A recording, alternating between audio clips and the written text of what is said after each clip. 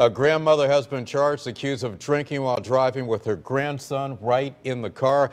Good evening, everybody. I'm Keith Kountz. I'm Aaron Logan, and for Ann Nyberg, the 60-year-old was arrested by Naugatuck police. News 8's Jocelyn Maminta spoke to those officials today, and she joins us live in the New Haven newsroom with more. Jocelyn. Aaron and Keith, the police officer was on routine patrol, but what led to the grandmother's arrest was anything but routine. A grandmother charged with drinking while operating a motor vehicle with her grandson, under 10 years old, in the car.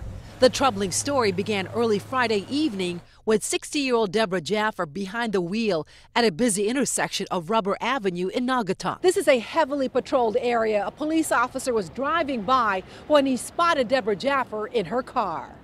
What he observed was nothing typical. Lieutenant Brian Camarada, Naugatuck Police Department.